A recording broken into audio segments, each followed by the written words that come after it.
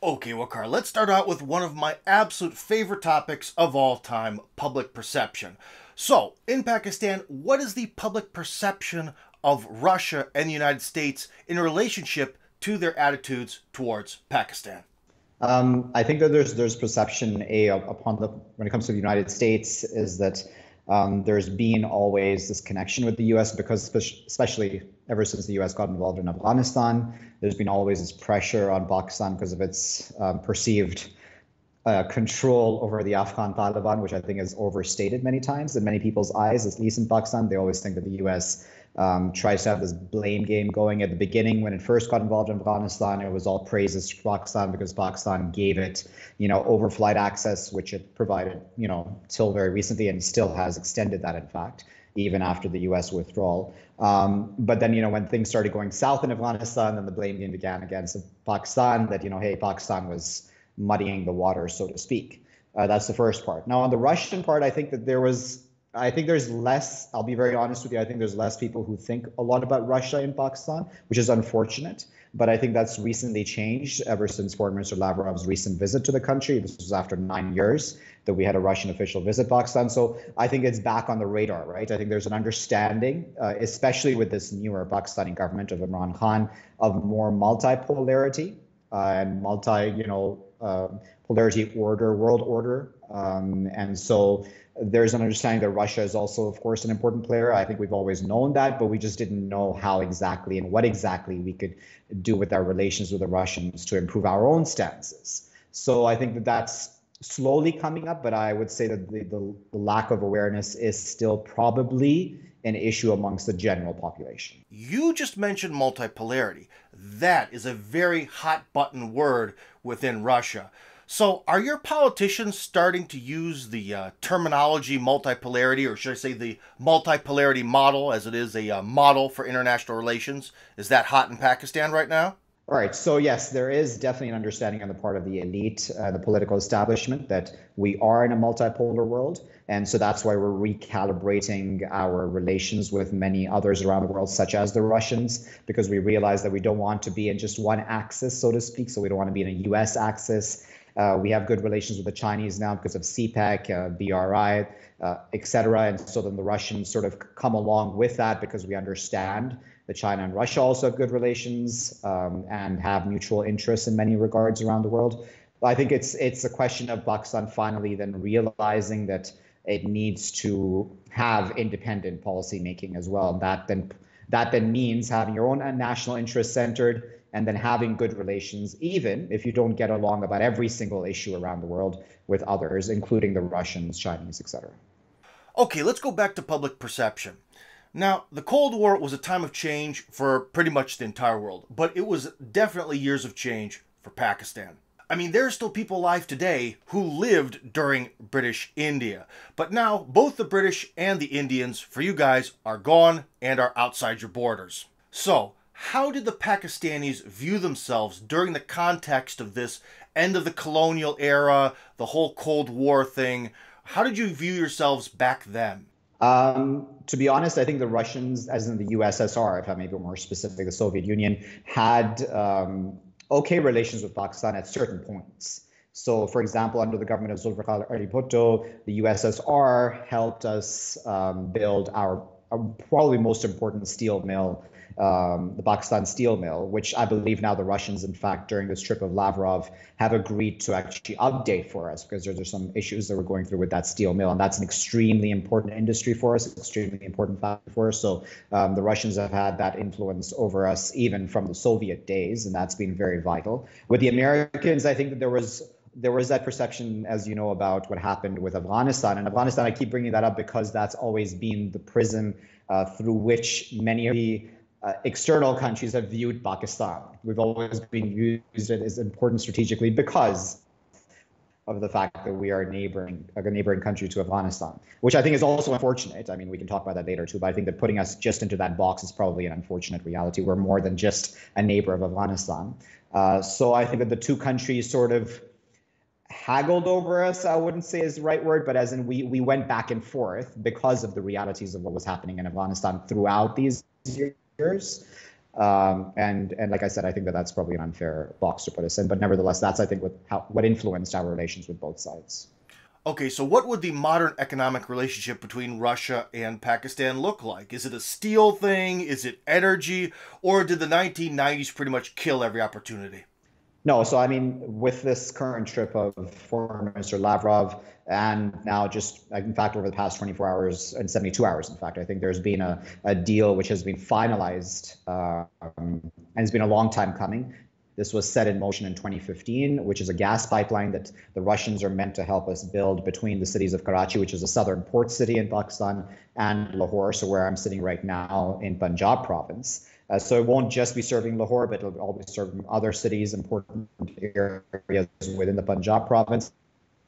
A $2.25 billion project. The Russians will have, I think, and I know this is up for debate right now, but I think around a 26% stake once this project is done, and the Pakistanis will have around 74%. So, nevertheless, I mean, the Russian know how, the Russian infrastructure, the Russian construction will be helping us a lot in this regard, and that's huge for us. As I said, for for you know, for countries that didn't even have you know, very high profile visits back and forth over the past nine years or so. This is really a, a, a significant leap forward in our relations in that regard. And as I mentioned, uh, the steel mill probably being updated fairly soon is on the cards. And there is military, there are military equipment sales that are set to happen fairly soon. At this point, I mean, I look for details. I didn't find any. It's unspecified right now, but there was talk of that during the Lavrov trip. And then there's a few military drills coming up as well fairly soon, uh, in which the Pakistanis will be taking part along with the Russians. Okay, so firstly, Waqar, I have to beg your forgiveness because I know my Cleveland accent does not exactly sound flattering when talking about countries like Afghanistan and Pakistan. Sorry. So, the Soviets and the Americans had conflicts in Afghanistan. The Americans have invaded Iraq twice. Uh, Iran is always under constant threat. Syria is in flames to this day. So it's almost like you guys in Pakistan are on the very edge of the iron sights of American foreign policy. Does this positioning have any effect on politics in Pakistan? I mean, aren't you guys afraid of becoming next? I don't think we're afraid of becoming next, but I think that what this does is, as I said, it it, it always makes us, um, in the eyes of the Americans at least, a conduit we're just we're, we're just we're just you know we're, we're just there and we're just to be used as this passageway to get things done for them because of our strategic location.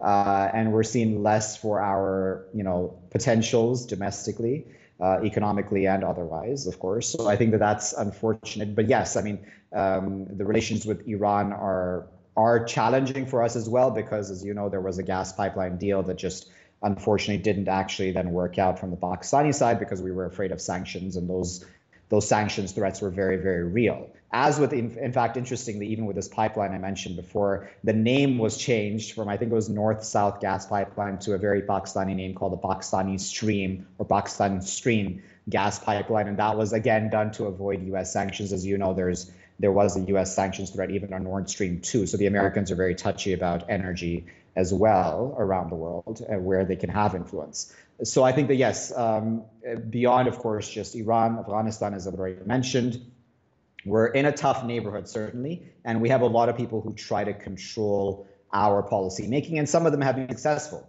because of our economic situation, because of the fact that we've had challenges over the years politically as well, instability in that regard. So uh, there have been countries in the Middle East, for example, who have tried to take advantage of us. But I think that with this latest, more stable political situation, if I may use that phrase, we are then able to now start recalibrating, hopefully, uh, and become more balanced. And I don't know if the word is neutral, but just more balanced, uh, probably, in, in how we approach everybody.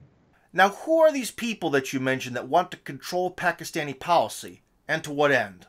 Uh, the goal is um, multifaceted, probably. So we as I said, because we do have and we have had a lot of political instability, and then by default, then economic instability, as you know, that those two are always intertwined. Uh, we've then had to export a lot of labor so, so the, as we know that a lot of those laborers and the money that they would send back or the remittances that would send back to the country became then a part of our economy because that was very vital. A lot of them were being able to, you know, support families back here in Pakistan while working as a construction worker and or domestic uh, servant of some sort to to a lot of these Persian Gulf uh, countries within these Persian Gulf countries. Uh, now I think that because of that, then because these countries knew that we were in a dire economic situation, uh, you know that whenever whenever a country gives you a quote unquote gift of money, it's not without strings attached. You always have strings attached. You need a favor back from that country. So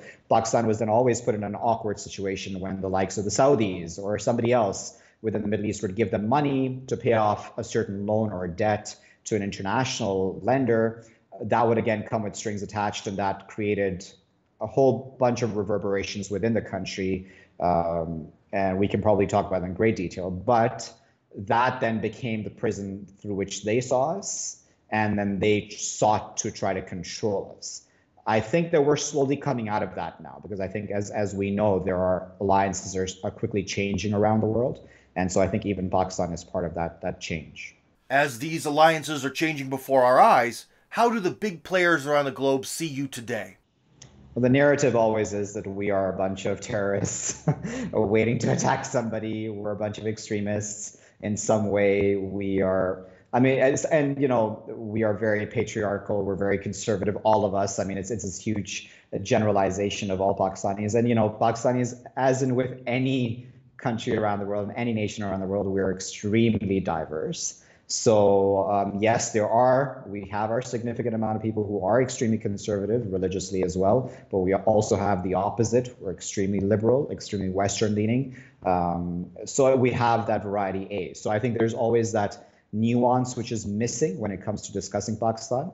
And so I, I, it's very unfair. I think that when we have a lot of those international correspondents for international news agencies and international organizations based, for example, in Islamabad, and they from their little bubbles in Islamabad are able to then pass huge judgments on us. Um, again, from their prism, right, from what they've been told by the respective organizations to keep going as far as a narrative goes.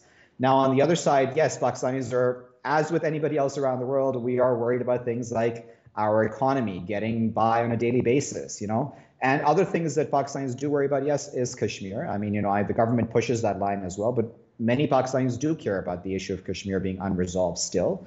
And beyond that, I mean, there are significant issues within the country. Pakistanis have significant grievances with their, um, you know, political establishment. But again, all of that has to be viewed with a nuance, right? It has to be viewed with, the context of what people are going through here. So, for example, energy needs. Um, electricity is extremely important. It's gotten a lot better in these years, but it's still a significant issue where if you don't have electricity, um, most of the day or a lot of the day, that that then hurts businesses, that hurts an investment climate, that hurts education. Um, all of the above is extremely important. We also need investment to be spread out throughout the country and not just in the urban centers. Again, not an issue which is unique to Pakistan, but I mean these are these are sort of global issues in many ways, but there also there's also this very domestic context, and these things are not unfortunately spoken of um, sometimes even by domestic media properly, but international media certainly. So the question is, who should be investing in Pakistan? Are you talking about, you know, your local millionaires and billionaires, or are you speaking about big international corporations who pretty much only see value in big cities and uh, definitely don't see any value in local labor? Both of the above. So I mean, um, we we have yes issues with corruption, so we need that money to stay within the country uh, not just escape the country, where you're, if you're making millions off of the country, you don't just uh, escape with that money somewhere else, invest somewhere else, try to buy citizenship somewhere else. You know, uh, that's been an issue for a very, very long time in Pakistan. Uh, a, on the part of those who are the elite and the rich, and secondly, yes, B, we need we need foreign investment certainly, but we need that done on a basis which I think this government has been better about. It's been better about signing deals with other countries, not on the basis of the fact that, hey, we have to agree about everything or that you're going to be our benefactor, but we're going to be equal partners in this regard. So, or as equal as possible. So we'll, we'll, we'll use your know-how, but we also want to benefit for the country. Because in the past we've had, and many people would argue that we still have some deals in place where foreigners come in, they invest, um, but then they only employ their own people from their own respective countries. So then you're not even giving employment to Pakistanis to, to a very large extent, or you're only using us as laborers. So A, we're not getting the know-how, and B, the, the money that is being made, technically, a lot of it is then leaving the country back to your own respective country. So, you know, it's just a bad deal for us uh, overall sometimes. Actually, this exact sort of thing happened in Russia. I mean, the 1990s were the era of the expat, where it seemed like every company was run by someone from England, France, or America. But with time and with Putin, slowly but surely they sort of forced the laws to be something whereas you have to sort of prove that you need a foreign person to take the place of a Russian job, and uh, basically expat life here has gone dead. So is it really true, Waqar, that foreign companies refuse to use the locals in your own country to work for their companies? I mean, I that's that's what I, I again. I'm not an expert in business, but I will say that that's what I've heard, and that's what the talk is about a significant amount of projects. But uh, like I said, we now have the realization that this has happened, in the past, and so I, I, believe that there is a significant amount of clamp down on that sort of thing. There's there's there's an urge to then renegotiate many of the terms of such deals. Okay, so geopolitically to the west, Pakistan has a big hot zone of conflict, but to the east, it sort of has its own Cold War going on with India. So, how do the actions of America and Russia affect India, which in turn affects you? Well, uh, both the Russians and the Americans have good relations with the Indians, and they have for, for many, many years. Uh, but at the same time, I think that under especially the current Prime Minister Modi, I think that the, the Indian tilt has been more towards the Americans, if we're completely honest, especially during the Trump tenure, but even after that. Uh, and there are some very obvious reasons for that. I mean, admittedly, India is a much larger economy; it's a much larger population than we are, um, you know, several times over and that's obviously a reality. And I think Pakistanis very much understand that. Even you know conversations I've had with Pakistani officials, or that it's not that we're expecting the world to not have relations with India. It's just that you know we want more balanced relations with us as well so that's one thing actually i mean i believe that is is a challenge even in our relations with russia because russia has for example on things like article 370 when it came to the, kashmir region um, at the time that the indians abrogated that article which had given autonomous status to that region the russians sort of said at that time that this is an internal indian matter and we don't want to get involved and the pakistanis I believe would not have been very happy about that, even though they probably didn't say so very much publicly. Uh, but in and of itself, I think that's fine. I mean, I, don't think the Pakistanis are expecting all of our allies, friends, or those who we have partnerships with to agree with everything we want them to agree with. You know, it, it doesn't work like that. Global diplomacy doesn't work like that. So uh, there is this much more mature understanding than of global politics that, hey, we may not agree with the Russians when it comes to India, but that's fine. We can still work with them. Um, as long as you know they they have balanced relations with us and we're able to have a mutually beneficial relationship. So why was the Trump period so fruitful for relations with India? I mean, what was so bad about Obama or Clinton or Bush or whoever? Trump, uh, as you know, I mean, he was a larger, he is a larger, I shouldn't say was, he is a larger than life figure. He's different from other American presidents. And he's, um, a lot of his views, I wouldn't say are exactly like Prime Minister Modi's. I mean, that's probably an unfair characterization. There are probably significant differences there if we look in the details. But it seemed that the two men had a lot in common. Uh, good and bad. I mean, you know, I don't want to look at Modi as just negative, but I mean, there's a lot there that we can pick on negative as well. So I think that there was sort of that commonality that the two men found. And uh, I hate to use the word right wing tilt, but I think that there is a conservative tilt uh, in some parts of these respective populations, so both American as well as Indian. Um, there is a bit of a tilt, and then that then means to an extent, and I mean, I'm not saying that the left wing tilt is a good thing either, but I'm just saying that sometimes that then translates into um, much harsher than actions on the ground. So when I spoke about Kashmir, for example, the abrogation of Article 370 by the Indian government was seen as a very harsh move. It was seen as unprecedented. It is unprecedented, in fact, historically as well. And um, so I think that there was that commonality. And a lot of the Indians like Donald Trump for the fact that um, he was, at the beginning at least, when he first came into office, very critical of Pakistan. And this was before he realized that, oops, Pakistan is actually extremely important to the Americans for Afghanistan. And if you if you anger the Pakistanis, you're going to have a very hard time walking away, a from Afghanistan or having any form of influence over Afghanistan. So you really got to keep us happy too, because we are we provide overflights, we provide passageway for American uh, supplies into Afghanistan. We are vital in that regard, and of course, we have a significant regional influence as well um, in that in those in those aspects. Well, one thing is, like Trump, if we were to say sit down and uh, draw out a plan for a Mount Rushmore of international leaders of the 21st century, conservative international leaders, we'd have to have Putin up there too. He is a very popular man within Russia, and his popularity over and outside the borders sometimes I think is even bigger. So, how do Pakistanis perceive Putin? Um, I'll be honest, I think that the political elite probably debates Putin. And I think they're probably both those who are for, pro, and probably neutral when it comes to Putin. Uh, so I don't think it's actually in Pakistan. I don't think it's actually about the man himself. I think it's probably what he represents, right? So for us, it is important, yes, that there is, um, and I'm looking at the entire Russian nation as a whole, not just Putin as one person, but the fact that you know Russia will stand up to the Americans, so to speak. I mean, you know, in quotation marks, stand up uh, when it comes to certain policies around the world. So, for example, um, I don't know. Uh, on issues like Palestine, sometimes the Russians will be more balanced and or will speak up uh, against Israeli actions versus the Americans. Now, I know that's, a, that's, a, that's, an example which doesn't affect us directly, but those things are important for many Pakistanis because we feel, again, the solidarity with, with Palestinians, etc. So uh, those sorts of things do then unite us in many ways. And um, I think that Pakistan sees the advantage of the multipolarity I spoke about earlier and the fact that the Russians have a different perspective on things that the Russians do not necessarily just you know toe the line when it comes to what Washington wants them to. So I think there's um, I don't know if respect is the right word, but probably maybe there is a certain amount of respect for Russia in that regard because again it is independent um, and like because we find ourselves right now currently aligned with the Chinese because of CPEC, um, then that sort of by default means we're sort of aligned with the Russians as well, even though it's not like it's a package deal. It's just that you know we find ourselves having better relations for the reason that we are now um, good with the Chinese also.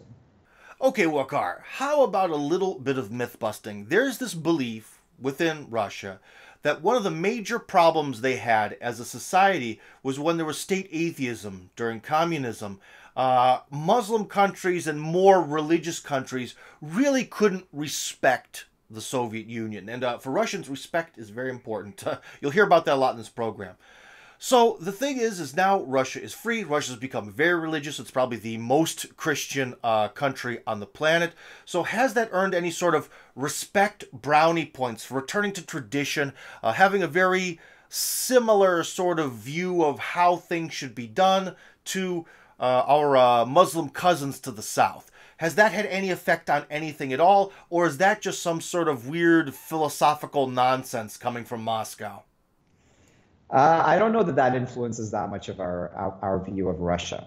Uh, there probably yes is an appreciation for the fact that yeah we do not have a, a communist you know government in place and uh, yes as you know as you well know that in, in the Muslim world communism or the USSR and Soviet Union were seen with with significant amounts of uh, mistrust at that time at least. Um, I don't know that that factors a lot into um, our views of the country because I think that we do understand that there, even with um, the current more, not more of a lean towards faith, if there is that, as you pointed out, then I think that there, there are still differences in that regard. We probably still have differences in how we view things. And I think that at this point, we realize that those aren't actually what's important for good relations, that it's sort of just we have to all be viewing things from our, you know, points of national interest, mutual national interest, and mutual benefit.